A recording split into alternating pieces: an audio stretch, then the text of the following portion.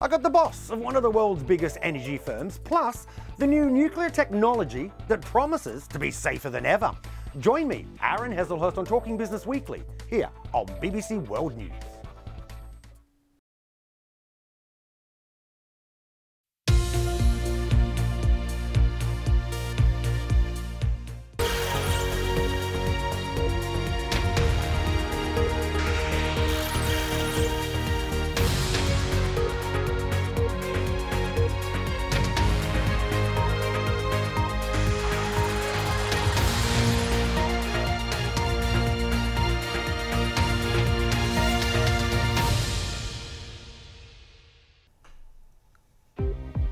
This is BBC World News. I'm Matthew Amroliwala. On today's Global, the UN says 4% of the world's population needs its urgent help.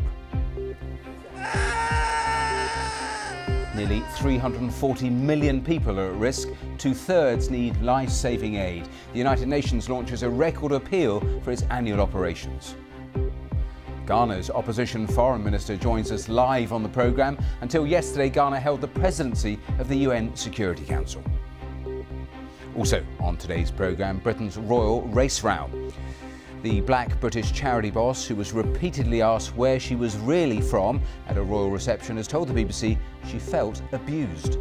Right, no matter how uncomfortable it is for other people to accept, I'm very clear that I experienced racism in an environment that I should have felt safe in. I'm Lucy Hawkins live at the World Cup in Doha, where eight more teams are in action. They're competing for their places in the knockout stages. But the focus today is not just going to be on the players. And that's because history will be made in the Costa Rica Germany match later with an all female refereeing trio led by the ref Stephanie Frappart, who will take charge for the first time in a men's World Cup match.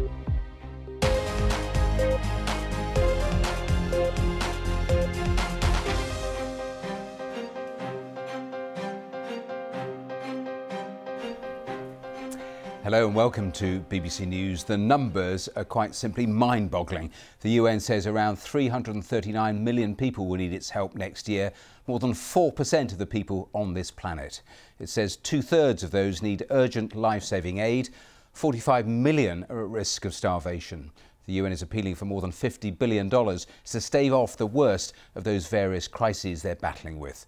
Well, their head of humanitarian operations, Martin Griffiths, says the needs are shockingly high the needs are going up because we